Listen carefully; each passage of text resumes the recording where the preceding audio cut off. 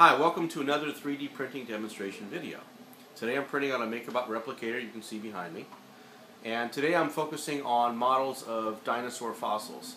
And what's unique about these, these uh, files that I'm printing is they were created uh, by a software called 123D Catch.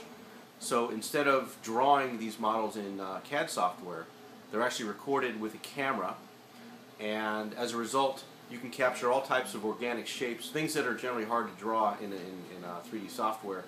A lot of the 3D software uh, drawings tend to be very regular in shape, very structured, very rigid, and organic, smooth, compound curves are, are pretty hard to, to recreate. So as a result, a lot of the files that you'll find, uh, perhaps on Thingiverse, that are drawn in software such as SketchUp or uh, Tinkercad or Blender or many of the other SolidWorks, AutoCAD, uh, it takes a lot of time to make something look organically natural, and so a lot of the things you'll find there uh, look a little artificial, a little stiff if they're trying to be a, a, statue of some sort or a little figurine. But with 123D Catch, you actually capture a 3D scan of the actual object. And so as a result, the, the scan, the prints come out really nice. And uh, I wanted to show you today a couple, and uh, they happen to be about dinosaurs. Now right now I'm printing a little dinosaur head of a T-Rex, and I haven't seen it yet. I'm just printing it for the first time. So I'll roll in some video or some stills afterwards so you can take a look. And so today is all about dinosaurs. I'm just printing with dinosaurs. And I just wanted to explain a little bit about 123D Catch. And this is uh, not a 3D print, but it's something I had. I've had this uh, around. Anyway, with 123D Catch, you take your camera and you take basically two circles of pictures, uh, between 40 and 70 images, uh, you circle around from the higher level and then you come around at the lower level. And when I've done it, I've actually tried to take one, at least one straight from the top if, if possible. And what that does is allows you to capture from every angle with your camera uh, all the details of the, of the model. And then you upload it to 123D Catch and they process and they send back a, a mesh for you. Uh, that, it does require some cleanup. This isn't really a tutorial on 123D Catch.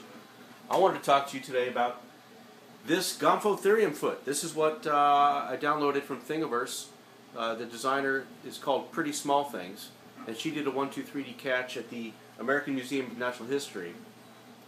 And this is printed at a 0.2 millimeter layer height. And the print took six hours, which isn't too bad for something this, this size.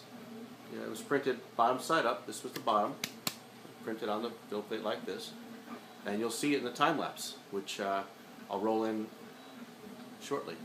And this was scaled up 1.5 times from the file that was presented on Thingiverse. Uh, this is one to one. This is the file uh, as it was on Thingiverse, and this is scaled up 1.5 times in Replicator G. And it didn't create, didn't seem to create any uh, any loss of detail. Um, any issues. Just uh, took longer to render the G code and of course longer to print. Uh, there's another one I have here. I can show you what the infill looks like. This is a, a failed print from the 1.5 uh, scaled up. Uh, this is on a MakerBot 1.75 millimeter black filament. And you can see the uh, infill there. This is 10% infill. And basically that honeycomb structure runs all the way down, all the way through, including throughout the base. Uh, it just saves on plastic. It's still very strong print. There's no uh, really no reason to put any more plastic inside. Once it's sealed up, you can't see that anyhow. And uh, just before I show you the the time lapse, I have another another print here from Thingiverse, another dinosaur fossil. And I'll put the information down below below the video. You can find the links if you want to download these these STLs or take a look. Uh, you can also see if other people post photos of their prints. You can sometimes see the differences, different colors, uh, different kinds of plastics, different layer heights, uh, different speeds. You'll see different qualities. What I'm shooting for is I'm trying to maintain the best quality I can achieve at the fastest rate I can get it.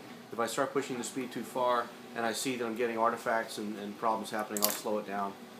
Uh, so I'm printing right now at about 48 millimeters per second with the um, uh, version 5.4, the accelerated firmware on the replicator. So that's it. Uh, so uh, sit back and enjoy, watch this uh, time-lapse build of the Gomphotherium foot. Thanks for watching.